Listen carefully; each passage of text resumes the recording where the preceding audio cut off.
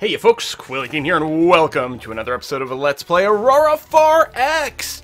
We still have our four system little empire here, with uh, Lumin being very boring and completely barren, Luyten looking very good, and Wolf 359 specifically being developed for some more peoples.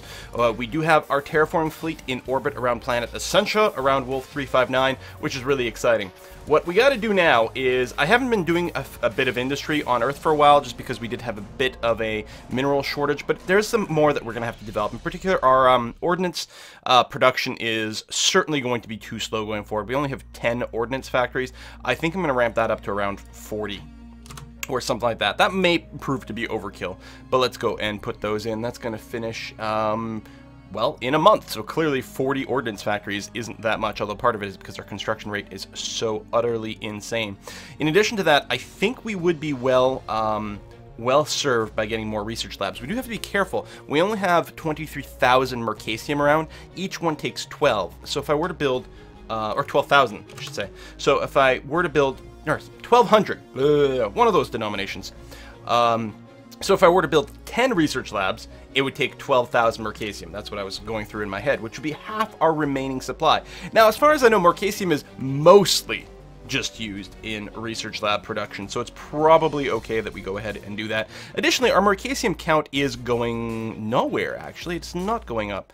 Maybe we don't have any mines in the solar system that's actually producing that. I will go and produce 10 research labs, uh, because more tech will be good. Um, let's go to Sol over here and open up the mining report. And is there any Mercassium around? Van Biesbroek is producing it. It's actually got a lot. Question, Van Biesbroek, how many automated uh, mines do you actually have these days? Just the 50. You know what would be really nice? Boronide's going to come uh, down pretty close, pretty quickly. But I think what we could do is we could probably double this number to 100, because that would drop um, the, the depletion times, it would still be 10 years for the uranium, uh, 33 years for the mercassium. These are numbers that are a little bit more important. We've got a lot of goods over here. You know what? We're going to do that. So what I'm going to do is... just Shmir's like song really loud. The battle scene. I guess that would be part of it. And it just ended. Okay. Um, I'm going to put in an order over here. So we are on Van Biesbroek. I would like 50 more automated mines. Now, I'm not sure if anyone's offering them up right now. I don't know if we're pulling our automated mines out of anywhere yet, but at some point that will get filled out, and I think that'll be really good for us. Yeah, you guys are still receiving some.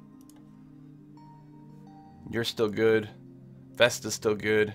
You still got plenty of stuff. You've got plenty of stuff. You've got plenty of stuff. Yeah, all the um, all the systems that are left, we want them to keep their current automated mines, so that's fine. Van Biesbroek, you don't have any actual civilian... No, you don't have any civilian mines on there, which is too bad. So that's okay. Uh, Earth is still supplying some mass drivers, as people want some, and they're still loading some mines. It seems like um, just the end of a job. I think it's loading regular mines and transferring them over to something like Mercury, wasn't it? I think that's what it was. Mercury's got quite a bit of stuff. No Mercassium, but a lot of stuff overall. It's got ground-based normal mines, which are being worked by our population. Of course, our population right now can't grow that high because it has a terrible atmosphere on there. But the plan is to terraform Luna, which is still... Oh, we're still waiting for things to be shipped off of Mars. That's right. The infrastructure is being moved first. The terraforming will move after that. I do have... I do have my own cargo fleet still which isn't doing anything. You know what I'm going to do? I'm going to have you go to Mars. I'm going to have you load terraforming installations, then go to the moon, Luna. This list is getting pretty full. I'm going to have you unload that, then stop by Earth, refuel, and then cycle that. And then what I'm going to do on Mars and Luna, I'm just going to remove the civilian thing to move these things. Because Mars won't have any. We're promising that we've got 10, but we won't have 10 relatively soon. And then we'll let the civilian stuff continue to move the infrastructure around, because that's perfectly fine. Okay, um... Anything else I want to take care of? Not really. I, we do want to keep going with the research, which is what we're going to do. And I suspect very strongly that the next system jump points that we're going to examine are the ones that come out of Wolf 359. Um, we are currently doing the grav survey there. We'll probably find some grab points. And what I'm going to want to do is probably We might wait until we've actually colonized Essentia over here. I'm still, um, actually, we're doing geological surveys. Have we done a grav survey around here? We must have. Oh, that's another geological survey. If we got double jump, or double grav surveys, or sorry, double geo surveys going on here. There's the jump points, right. So we have two unexplored jump points out of here. So what I would like to do, what I would feel good about, is if we could get things started on Essentia and get a PDC set up over there. A new generation of PDC, one that actually works and does something, one that we didn't just build for its planetary protection value, but one that's for realsies. Hamilton Carrier Services launched a new small freighter. Well, excellent. Civilian mining colony uh, on Venus has expanded. That is lovely as well. I believe we're buying that. Research into fuel storage very large has completed on Earth. Excellent. Now, can I get... I think there's a huge size for that as well. Mm, maybe not, because it would be under logistics and ground combat, right? And I don't see it at this time. So I guess that is not the case. Plus our logistics people... Um, oh, wait, it just started! We completed the hangar deck. We started the very large. Okay. Because I do want to do... Um, I don't know if we've got any Sorium gas giants. I think we do. Either in this system or in the, uh, the Luyten system. I think one of the two does have a, a gas giant with Sorium. So A, we could set up a, a fuel refining ship over there, which might not be a terrible idea. Again, right now we have lots of Sorium. But my hope is actually just to get like a source of fuel natively in my other systems. In particular here, it would be really nice if we could get that going on. And we'll take a look at that. Venus has expanded some more. Okay, good for them. Um, and the other thing I want to do is build some mobile tankers to go with what will likely be a second generation battle fleet.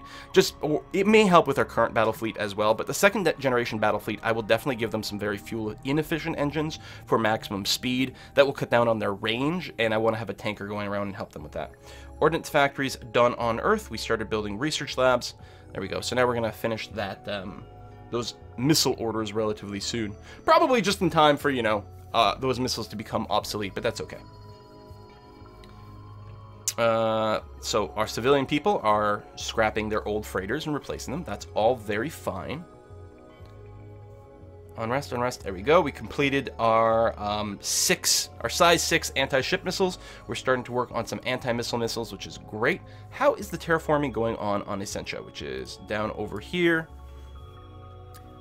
We're almost at 0.1 atmospheres of oxygen. We are producing atmosphere very quickly. Again, it was going to be like a three-year cycle uh, to generate that kind of atmosphere. And then to generate the rest of the gases will take, um, depending on how much was there. I don't remember how much gas was already in the atmosphere there. It was pretty low. People were excited about the percentage of oxygen on, uh, on Essentia, but they weren't noting the fact that the actual atmospheric pressure was very low. It was effectively the same as having none. Um, but it might save a little bit of time. So I don't know. It might be something like five or six years to add other gases in there to make it um, fully colonizable. Because I don't want to ship a bunch of infrastructure out there. That's my goal. I want to terraform it first and get some people out there. So now we have finished the research into the larger fuel tanks and fuel tank storage ultra large. Excellent. Now, I think that this is just semi for convenience. They might be slightly cheaper than, um, for example, if I just put on multiple regular sized fuel tanks, we could get a very high amount of storage. I think the total end weight might be the same. I'm not sure, but it might use less materials. There might be less packaging. These these big ones, they, if they're supplied, I assume they're more efficient. I haven't actually checked the math. I'm just sort of betting on that. Um, and hoping, I guess. So we're going to get the ultra large. I think there's another category after that, too. And we may as well burn through some of those. I think we're going to be well benefited from that. Neutronium on Psyche has exhausted. So Psyche, ah, it's right here. Still has enough um, for me to make it worthwhile to mine uh, right now. We'll probably mine out Psyche completely. Oh, the mass drivers! Sent to Earth. Oh, these are planet. Those are the newer, um, the newer bits where I thought I'd set up uh, Swift Tuttle. Now I'm really confused. Um, those are the ones I set up jobs for. You can't set up the mass driver destination until there's a mass driver, which is a little bit annoying because it'd be nice to set it ahead of time. Like, whenever you get a mass driver or civilian colony, here's where I want you to go. Um, but there we go. So we didn't have some of them flinging. It was probably true earlier, but that's okay. So Psyche has a backlog of, oh, not that much, actually. And it's not producing that much. So, because remember, your mass driver can send 5,000 tons per year. So this is about a year's worth of stuff stockpile. Plus, we are going to produce some more, but after a couple years, that's all going to get shipped off properly. And it's not like we were experiencing a shortage now, so we didn't screw ourselves. Oh, new research lab. Excellent. Um, these are all pretty fast. Fuel production, we're actually generally okay. Yeah, we're doing that biome stuff for our custom races. Not particularly big deal. Do we have no energy weapons being worked right now? I don't think so, huh? Yeah, there's no scroll. Did we have someone die? I think we might have had someone die. Because EW, no. Wow, I think we might have had someone die. Anyway, let's go. Okay, that's about as good as we're going to get. We could get reduced size laser, but I don't think that's what we're looking for. We may not need that much, but I guess we'll we'll keep getting some Meson stuff uh, with the idea that maybe we're going to create some, some close-up fighters later on that have it. Yeah, there we go, EW. Some sort of maybe stealthy close-up fighters. And they would use those weapons because they get to ignore some defenses, which is a lot of fun. But they have very short range. They do make, uh, if I recall correctly, they do make really good point defense weapons as well. Although, I guess, no, um, it doesn't matter for, um, for missiles, because missiles aren't usually armored. I think it's really good protection against enemy fighters, I think is the idea. Because then whatever protection the enemy fighters might have will more or less be ignored when they close into to close range. Something like that. Okay, our size 1 anti-missile missiles are done on Earth. I don't think I'm going to produce any more missiles right now, because um, it's very possible that our next um, series of missiles will be different, but it's nice to have a stockpile of them. More private fighters being launched, freighters being launched, no problems there. Another inactive research lab. Oops, that was the wrong button, but that's okay. Let me go and just go and add you down there, and then let's take another look at Essentia over here. You got to be real damn close, really closing in there, then we'll switch. So yeah, there's um 5% total atmosphere with nitrogen, which is going to help us out. It is going to save us a little bit of time there, which is good.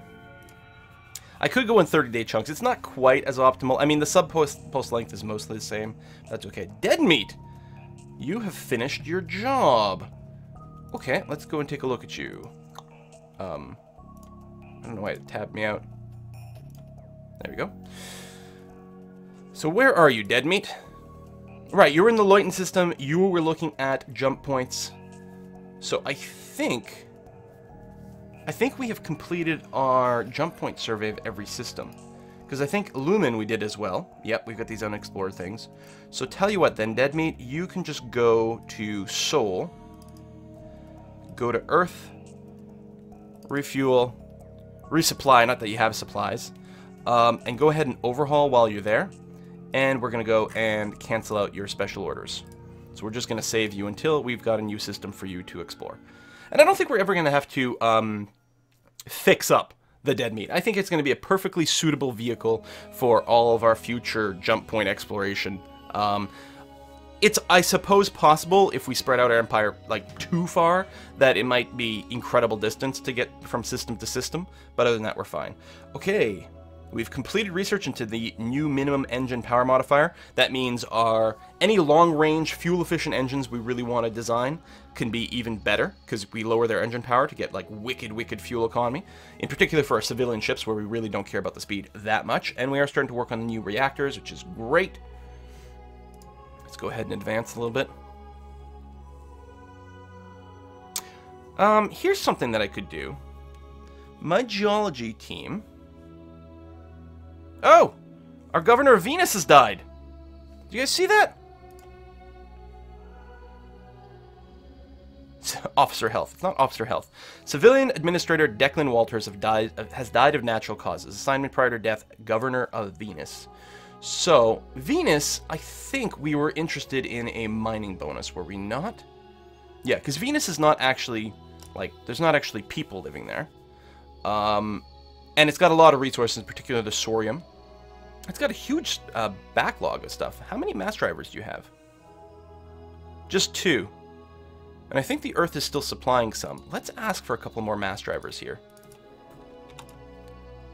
Add contract, check the Earth. Earth is still supplying some, that's good. So let's go into our officer window.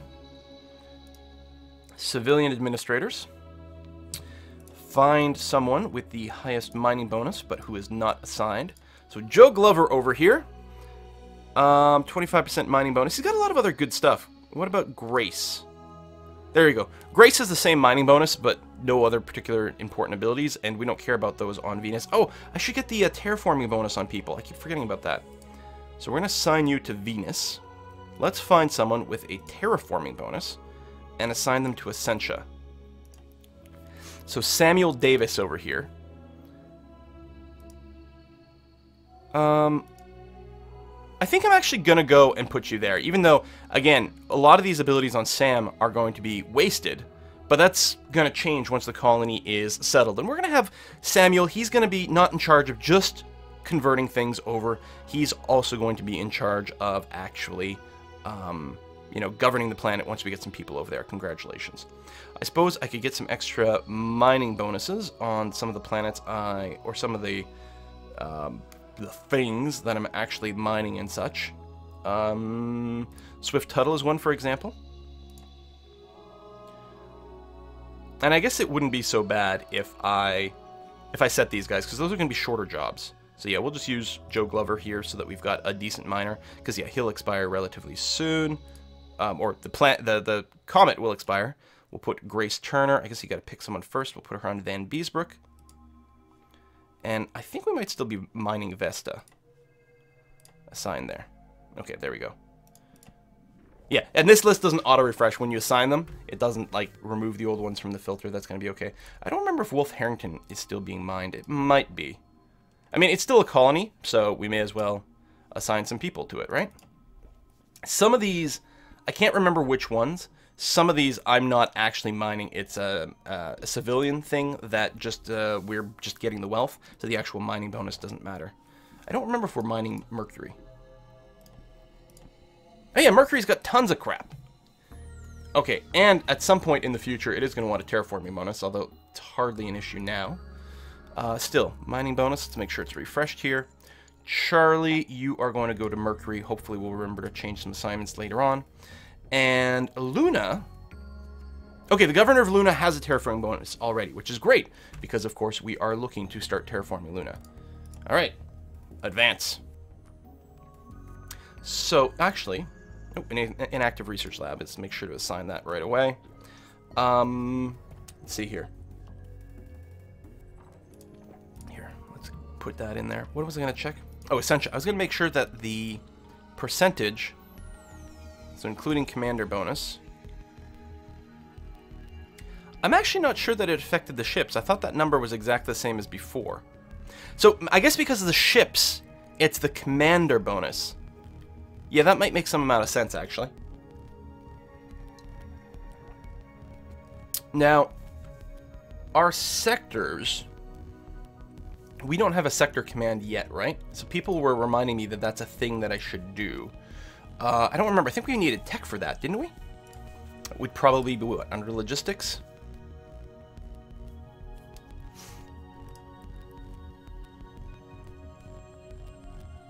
Or do we already have it? If I want to design a ship. Because, I mean, you can make a ship that's got a sector command on it. I don't have, like, a dummy ship just kicking around anymore, do I? No. So, let's just uh, make a new one. So, like, there's the flag bridge which I think can act as a, uh, a fleet setup, which is going to be more important if we go forward. But I think as long as we've got the planets, we should be okay. Let me take a look at the leader view over here. Um, and we want to look at staff officers.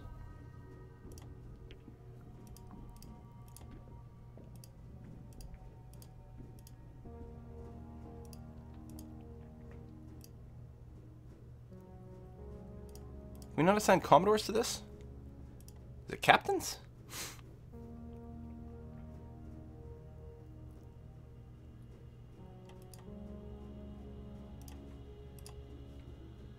I think whoever was in charge of that job has gone away.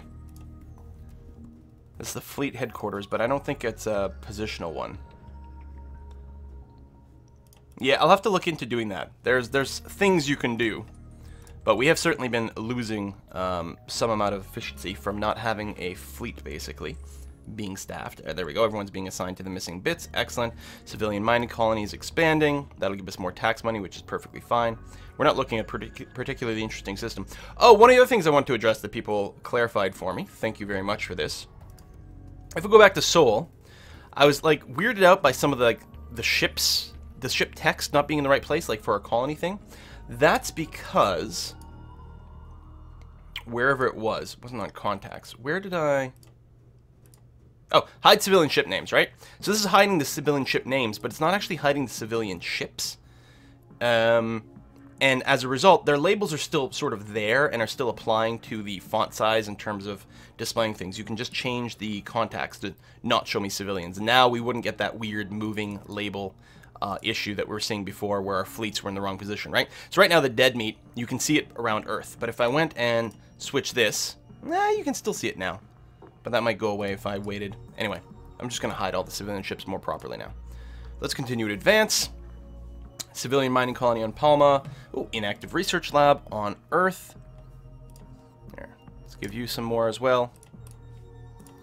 And advance forward. So we're getting plenty of minerals that are being flung towards Earth. Actually see them streaking around there. Uh, ah, extra large storage is done.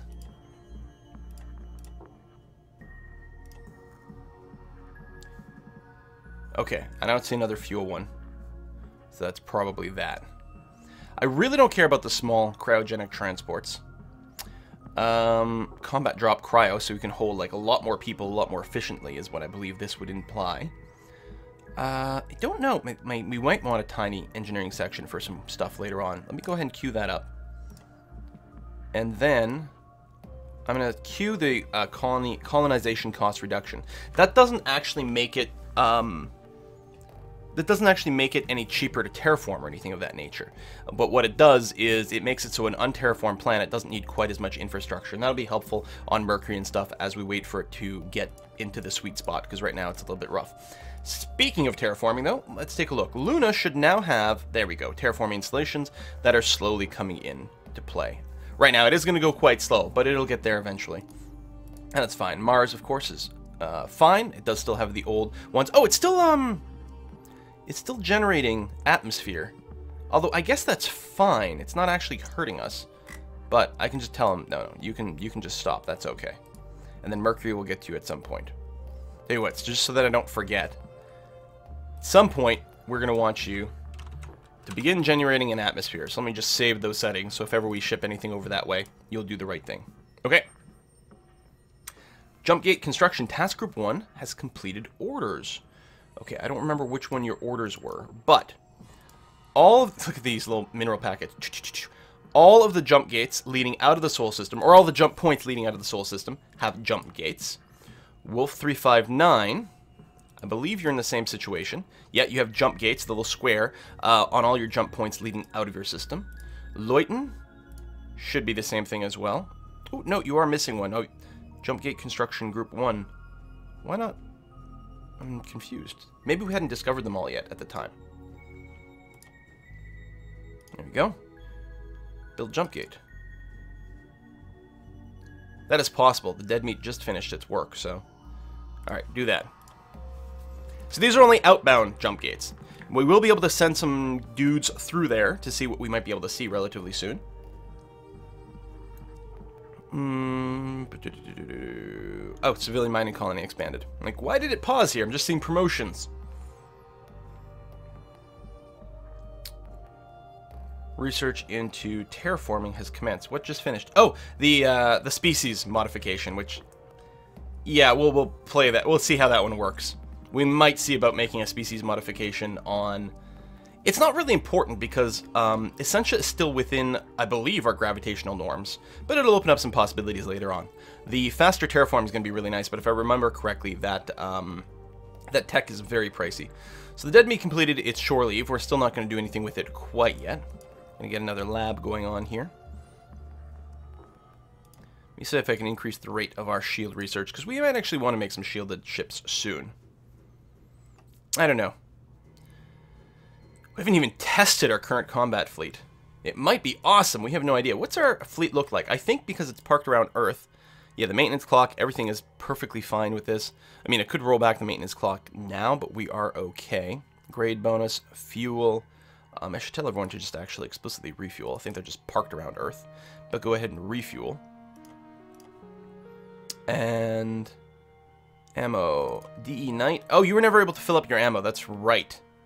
But now there should be plenty of bullets on the ground. So now you'll have, well, it hasn't refreshed there, but if I click and click, full ammo. There you go. You'll refuel. That'll be great.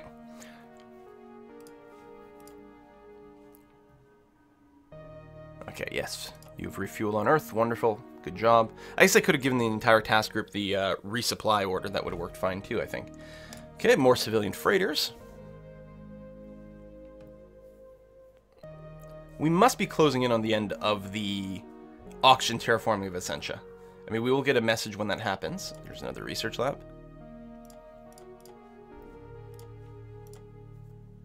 Oh! We were there. I must have missed the, the message at some point. Okay. Let's go and start pumping in... Well, it doesn't matter. We're going to pump in some greenhouse gases to raise the temperature. The temperature is going to raise anyway as we get more air pressure, but we may as well kickstart it just a wee bit. It's just going to take a few cycles to get uh, to minus 10, and then we're going to switch over to nitrogen production. Overcrowding on Mercury, overcrowding on Mercury. Mm-hmm.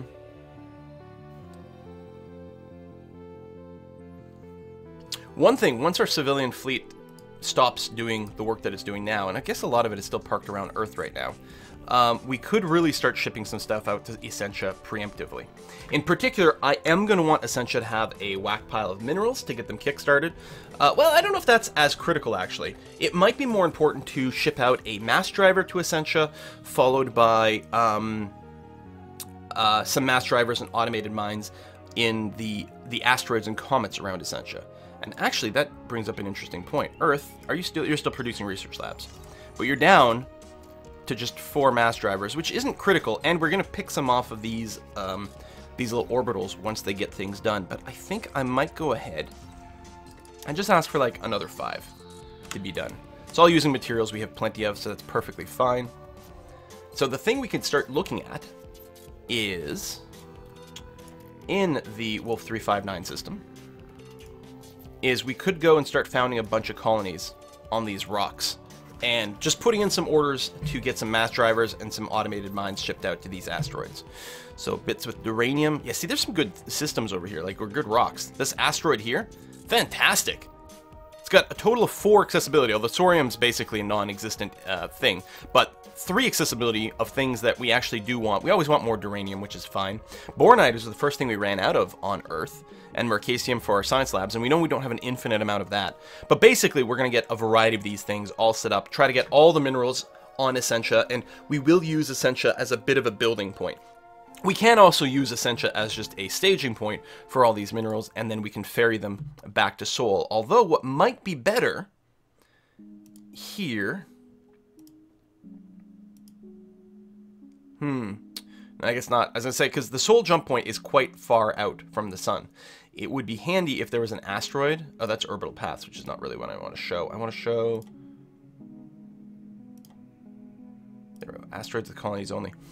Um, we could set up a base on an asteroid that's closer to the jump point, but I do have asteroid orbiting turned on, so it'd be close now, but it would end up being far away, so that wouldn't be good. If we weren't orbiting the asteroids, if the asteroid uh, orbital paths weren't being run, then we could just set up a spot on asteroid 398 over here for all the mass driver stuff to go to and then ship that through to Sol. But we're going to sh ship it to Essentia, who may use it, um, at least lightly. For example, get a few construction factories over there so that they can assemble their own PDCs. Like we could build the PDCs on Earth as prefabs, ship them over, but then they could reliably do it, um, and then trickle out a few other things as well. For example, uh, maybe we'll build some ordnance factories over here so that we'll get a good supply of that. We could do fuel refineries here, depending on how much sorium we have. That's an excellent question. Depending on how much sorium we have in this system, which is a fair bit. Now, I believe that Wolf 359A6 over here is actually a gas giant. I guess I could just create... Actually, if I hit this, yeah, it's going to tell me it's a gas giant. So, we're not going to be... We can't build a colony on this. Excuse me. So we can't mine the Sorium out directly. Which means we're not going to be flinging Sorium to Essentia. We might we might get a little bit. I mean, we've got a couple of rocks here with some Sorium that will get collected. So there's going to end up with a little bit of Sorium on Essentia. I don't know if it's going to be worth building a fuel refinery, but it will very much be worth building a fuel collection ship here to collect this into fuel. So we will be working on that in the future. But that's the plan. Thank you very much for watching another episode of Aurora 4X, folks, and I'll see you guys next time.